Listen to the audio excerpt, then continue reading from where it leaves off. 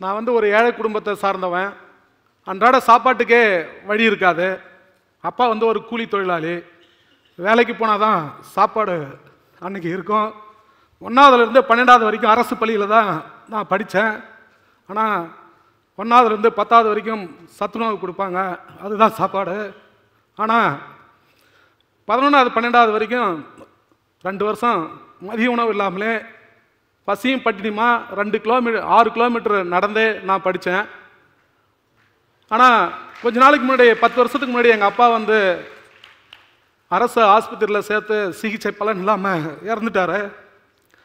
அப்போ அவரை வந்து வீட்டுக்கு கொண்டு வந்து அடக்கம் பண்ணணும்னு நினச்சப்ப ஆம்புலன்ஸுக்கு வாடகை பேசணும். அப்போ பத்தாயிரரூபா ஏழாயிரரூபா அப்படின்னுலாம் சொன்னாங்க. ஆனால் ஏழாயிரரூபா வாடகை பேசி அப்பா வந்து வீட்டுக்கு கொண்டு வந்தோம் ஆனால் உற்றார் உறவினர் அண்ணன் தம்பி எல்லாமே இருந்தாலும் அவர் அடக்கம் பண்ணுறதுக்காக அங்கங்கே கடனை உடனே வாங்கி நாங்கள் அடக்கம் பண்ணோம். எங்கள் அப்பா உயிரோடு இருக்கும்போது எங்களை வாழ வைக்கிறதுக்காக ஓடி ஓடி அலைஞ்சு எங்களெல்லாம் காப்பாற்றினார் ஆனால் இன்றைக்கி அவர் இறந்த பிறகு அவர் அடக்கம் பண்ணுறதுக்கு நாங்கள் ஓடி ஓடி அலைஞ்சு அவர் அடக்கம் பண்ணோம். ஆனால் தனி மனிதனுக்கே இவ்வளோ ஒரு செலவு இருக்குதுன்னா சாதா ரோட்டு ஓரத்துலையும் சாலை ஓரங்களெல்லாம் அனாதையாக இறந்து போகின்ற அந்த உடல்களெல்லாம் யார் அடக்கம் பண்ணுவாங்க? கணவனால் கைவிடப்பட்ட மனைவி மனைவியால் கைவிடப்பட்ட கணவன் ஆதரவற்ற திருநங்கைகள் இப்படின்னு சொல்லி ஒவ்வொரு அனாதை உடலுக்கு பின்னாடியும் ஒரு பெரிய கதை ஒரு பெரிய வரலாறு இருக்கிறத நான் உணர்ந்தேன். அப்படிப்பட்ட உடலுக்கு ஏதாவது செய்யணும்னு சொல்லிட்டு நான் என்னுடைய சேவையை செஞ்சுட்டு வரேன். ஒரு நாள் ஒரு ஃபோன் கால் வந்துச்சு. ஆம்புலன்ஸ் எடுத்துட்டு கந்தகிரி பைபாஸ் வரைக்கும் வாங்க சார் அப்படின்னாங்க. அங்கே போய் பார்த்தா ரெண்டு எலும்பு கூடான ஆதரவற்ற உடல்கள் இருந்தது. உறவினருக்கு தகவல் சொல்லி பெங்களூர்லேருந்து வந்திருந்தாங்க. வந்து அந்த உடலை பார்த்துட்ட பிறகு இந்த உடலை நாங்கள் வாங்க மாட்டோம். ரெண்டு குடும்பமே சொல்கிறாங்க இவங்க தற்கொலை செஞ்சுக்கிட்டவங்க இதை நாங்கள் வாங்க மாட்டோம்னு சொல்லி வாங்க மறுத்துட்டாங்க. உடனே போலீஸ் அந்த உடலை சேலம் ஜிஹெச்சுக்கு கொண்டு போய் அங்கே செய்ய வேண்டிய அரசனுடைய ஒரு சில சட்டத்திட்டங்கள் லீகல் எல்லாம் இருக்குது அதெல்லாம் செஞ்சு அந்த உடலை எங்கள் கையில் ஒப்படைச்சாங்க. ஆனால் அது எலும்பு கூடு தான். ஆனால் ட்ரெஸ் இருந்தது. ஸோ அதுக்கு ஒரு கோடி மாலை எல்லாம் போட்டு அதை உரிய மரியாதையோடு கொண்டு போய் நாங்கள் அடக்கம் பண்ணோம். அனாத உடல் இன்னும் எப்படி தீர்மானிக்கிறாங்க அப்படின்னு பார்த்தீங்கன்னா சாலை ஓரங்களில் வயதானவர்கள் அந்த இறந்து போயிடுவாங்க. இல்லை அதே மாதிரி சாலை ஓர சாலை மற்றும் ரயில் விபத்துகளில் முகவரியற்ற வெளியூர்வாசிகள் இறந்து போயிடுவாங்க. அவங்ககிட்ட முகவரி இருக்காது. நம்ம நாட்டில் மட்டும்தான் ஆக்சிடென்ட் ஆயிடுச்சுன்னா பாக்கெட்டில் இருக்கிறதெல்லாம் எடுத்துடுறாங்க. முகவரி கண்டே பிடிக்க முடியாது.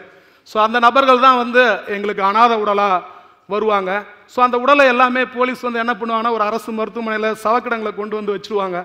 எட்டு நாள் பத்து நாள் வரைக்கும் இருக்கும். ஒரு சின்ன விளம்பரம் கொடுப்பாங்க. அது எத்தனை பேர் பார்ப்பாங்கன்னு தெரியாது. ஆனால் அந்த உடல் எட்டு பத்து நாள் வரைக்கும் வச்சுருந்துட்டு யாருமே வந்து உரிமை கொண்டாடலை சொந்தம் கொண்டாடப்படலை அப்படின்னு என்ன பிறகு அந்த உடலை என்ன பண்ணுவாங்கன்னா ஒரு எஃப்ஐஆர் போட்டு ஒரு போஸ்ட்மார்டம் ரிப்போர்ட் எல்லாம் ரெடி பண்ணி எங்கள் கையில் ஒப்படைப்பாங்க. அந்த உடல் வந்து ஒரு முழுமையான உடலாக இருக்காது. அழுகி இருக்கும் இல்லை கட்டி கூட்டி கொடுப்பாங்க. அந்த உடல் உடலுக்கு நாங்கள் ஒரு கோடி போடுவோம் ஒரு மாலை போடுவோம் அதை கொண்டு போய் உரிய மரியாதையோடு அடக்கம் பண்ணிவிடுவோம் அனாத உடல் எல்லாமே பார்த்தீங்கன்னா எங்கள் கையில் ஒப்படைக்கும் போது என்ன பண்ணுவாங்கன்னா நிறைய ப்ரொசீசர் எல்லாம் கேட்டு எங்கள்கிட்ட வாங்கிக்குவாங்க. இருந்தாலும் பார்த்தீங்கன்னா ஒரு உடல் அடக்கம் செய்யணும்னா எங்களுக்குன்னு ஒரு சில இதெல்லாம் இருக்குது அதை என்ன பண்ணுவோம்னா கோடி மாலைலாம் போட்டு அடக்கம் பண்ணிவிடுவோம் ஸோ அதே மாதிரி ஒரு மனிதன் கூட இறந்துட்டான்னு வச்சுக்கிங்களேன் நம்ம என்ன தெரியுங்களா பண்ணுறோம் வேடிக்கை பொருளாக பார்த்துட்டு போகிறோம் அதுதான் உண்மை. எப்படின்னு பார்த்தீங்கன்னா இன்னைக்கு ரோட்டு ஓரத்தில் ஒருத்தர் இறந்துட்டாருன்னு வச்சுங்களேன் ஜஸ்ட் வண்டி நிறுத்துவோம் கார் நிறுத்துவோம் என்னன்னு கேட்போம். இறந்துட்டாங்கன்னு சொல்லுவாங்க. அப்படியே போயிட்டே இருந்துருவோம். ஆனால் ஏன் போகிறோன்னா அவங்க நம்மளுடைய சொந்தக்காரர் இல்லை அவங்க யாரோ எவரோ என்ற மனநிலையில் போயிடுறோம். ஆனால் ஒரு காக்கா இறந்ததுன்னு வச்சுங்களேன் அந்த காக்கா கத்தி கூவி தன்னுடைய இனத்தெல்லாம் கூட்டி அங்கே வந்து ஒரு ஒரு அஞ்சலி செலுத்துது. அந்த மரணத்துக்கு ஒரு மரியாதை செலுத்துது. ஐந்து அறிவு படைத்த அந்த காக்கா தன்னுடைய ம இனத்துக்காக மரியாதை செலுத்தும் போது ஆறு அறிவு படைத்த மனிதர்கள் நாம் ஒரு வேடிக்கை பொருளாக பார்த்துட்டு போயிடுறோம். அது மட்டும் இல்லைங்க இந்த அனாதை உடல் அடக்கம் பண்ணுறதுங்க எங்களுக்கும் ஒரு சில செலவு இருக்குது. யாருன்னா போய் ஒரு உதவி கேட்டோம்னு வச்சுங்களேன் சார் போங்க சார் காலையில் வந்துட்டீங்க. சாவை பற்றியெல்லாம் பேசாதீங்க. அபசங்கத்தெல்லாம் வந்து சொல்லாதீங்க அப்படின்னு சொல்லி எங்களை விரட்டுவா விரட்ட பார்ப்பாங்க. ஆனால் அனாத உடலை வந்து நம்ம அடக்கம் பண்ணோம்னா புராணத்தில் என்ன தெரியுங்களா சொல்லியிருக்காங்க? அசுவமேத யாகை பூஜை செய்வதற்கு சமமான ஒரு காரியம்னு சொல்லியிருக்காங்க. அது எத்தனை பேருக்கு தெரியும்னு தெரியல. ஆனால் ஒரு அனாத உடலை வந்து அடக்கம் செய்கிறதுக்கு நாம் உதவி மட்டும் பண்ணோம்னா அந்த உதவி செய்கிறதுக்கான அந்த கோடி புண்ணியங்கள் நம்ம குடும்பத்துக்கு வந்து சேரும்னு சொல்லி சொல்கிறாங்க மரணத்தை பற்றி பேசினாலே ஒரு சிலருடைய முகங்கள் எல்லாம் அப்படியே மாறிடும் அப்படியே ஒரு மாதிரி இறுக்கமாக ஆகிடும் அது ஏனே தெரியல. மரணத்தை கண்டு பயப்படுறோம். மரணம்னா என்ன? மரணத்தை கண்டு ஏன் பயப்படணும்? ஒரு சின்ன உதாரணம் சொல்கிறேன் கேளுங்களேன். இப்போ எனக்கு முன்னாடி ஒருத்தர் நடந்து போயிட்டே இருக்கார். டக்குன்னு தரையில் விழுந்துற விழுந்து இறந்து போயிடுறார். அதுதாங்க மரணம். அதுவே வந்து கொஞ்ச நேரத்துக்கு முன்னாடி நடந்து போனவர் இப்போ நம்மளோட இல்லையேன்னு சொல்லி நம்ம கற்பனை பண்ணி பார்க்குறோம் பாருங்க. அதுதாங்க பயம். இதுதான் மரணத்துக்கும் பயத்துக்கும் உள்ள ஒரு சின்ன வித்தியாசம். உடலை விட்டு உயிர் பிரிஞ்சிடுச்சுன்னு வச்சுக்கோங்க. அது கண்டிப்பாக மரணம். அதே மாதிரி உங்களுக்கு கிடைச்சிடுச்சு எனக்கு கிடைச்சிடுச்சுன்னு சொல்லி யாருமே பொறாமப்படாத ஒரு விஷயம் எதுன்னு பார்த்தீங்கன்னா அதுவும் மரணம் தான்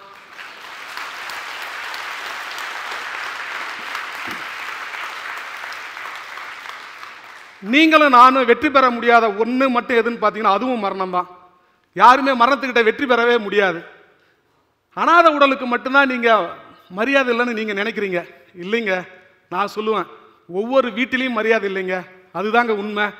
பெற்று தாளாட்டி சீராட்டி வளர்த்த அப்பா இறந்துட்டாருன்னா பையன் என்ன தெரியுங்களா ஃபோன் பண்ணுறான் பாடி அஞ்சு மணிக்கு எடுப்போம் சார்.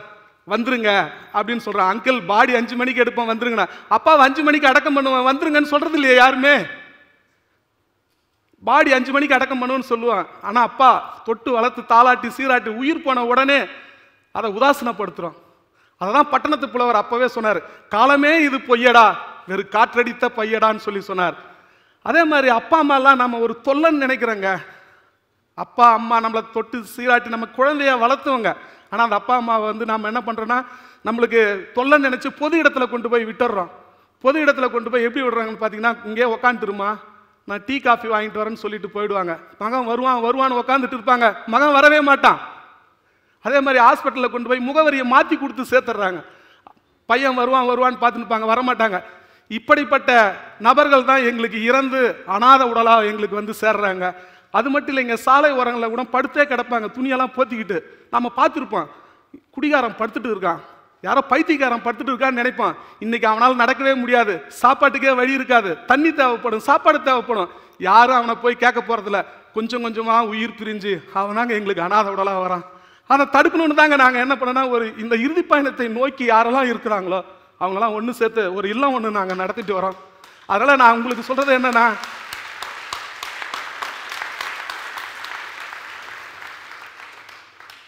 அப்பா அம்மா நம்மளை எப்படி காப்பாற்றினாங்களோ அதே மாதிரி கடைசி வரைக்கும் இருந்து அவங்கள நாம் வழி அனுப்பணும்னா அதுவே பெரிய விஷயங்க.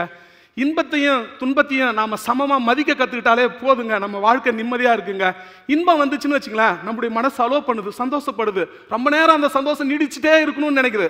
ஆனால் துன்பம் வந்துச்சுன்னு வச்சுங்களேன் நம்முடைய மனசு இடம் கொடுக்கறதும் இல்லை. அது சீக்கிரமாக விலகி போகணும்னு நினைக்கிறோம். அதனால தான் நான் உங்களுக்கு சொல்கிறேன் இன்பத்தையும் துன்பத்தையும் சமமாக நீங்கள் மதிக்க கற்றுக்கொண்டால் கண்டிப்பாக உங்களுடைய வாழ்க்கை இன்பமாக அமையும். இப்படிப்பட்ட ஒரு தீர்வுக்காக தான் நான் போராடிட்டு இருக்கிறேன். நீங்களும் இந்த தீர்வுக்காக போராடுவீங்கன்னு என்ற ஒரு நம்பிக்கையோடு நான் விடைபெறுகிறேன். நன்றி வணக்கம்.